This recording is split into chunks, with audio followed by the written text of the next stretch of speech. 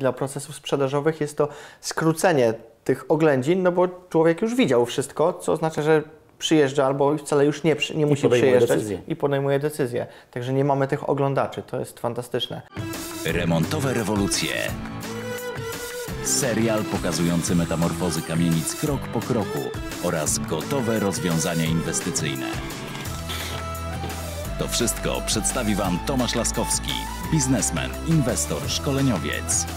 Posłuchajcie rzeczowych rozmów o nieruchomościach. Po co w nieruchomościach wirtualne spacery?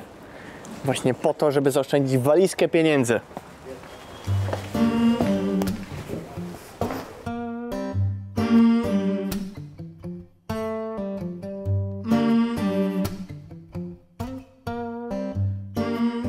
Poznajcie pana Michała Nowickiego, który jest specjalistą do spraw skanowania w technologii Matterport. Dzień dobry panie Michale. Dzień dobry, witam serdecznie.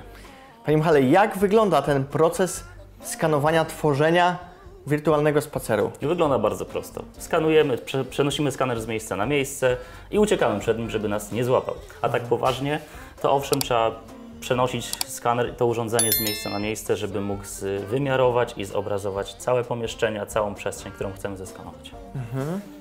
Okej. Ile tutaj jest kamerek?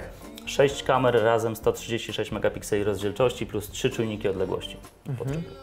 Okej. A kim są pana klienci?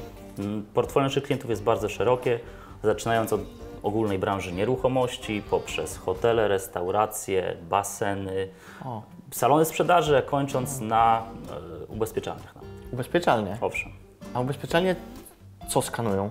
Ubezpieczalnie skanują budynek przed ubezpieczeniem albo też nawet po jakimś, jakiejś szkodzie wyrządzonej w tym budynku. Mogą dzięki temu mieć lepszą e, dokumentację. Oprócz tej zdjęciowej mają taki wirtualny spacer, pozwala to na zobaczenie całej przestrzeni mm, w lepszy sposób.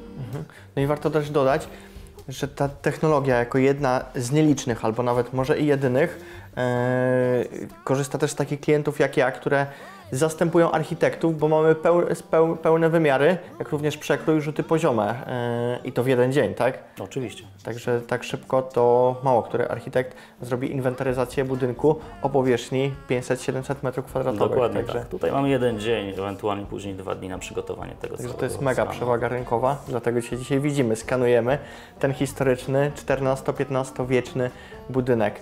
E, A co daje właśnie klientom e, mm, taki wirtualny spacer? Przede wszystkim możliwość pokazania własnej przestrzeni, ale też zależnie od branży. Faktycznie w przypadku nieruchomości jest to możliwość pokazania budynku 24 godziny na dobę przez 7 dni w tygodniu dla klienta, który jest nawet za granicą. Nie musi przyjeżdżać, nie musi gdzieś na miejscu tego I budynku. z linku sobie wchodzi Oczywiście, i z dokładnie. Londynu ogląda toruńskie nieruchomości, I trójmiejskie nieruchomości, Często jest zdecydowany, żeby przyjechać od razu kupić, nawet nie tyle oglądać, co po prostu kupić. Przy okazji mamy pełne wymiarowanie budynku z dokładnością do 99% e, i dzięki temu nie musimy faktycznie mierzyć wszystkiego. Mamy plany budynku gotowe.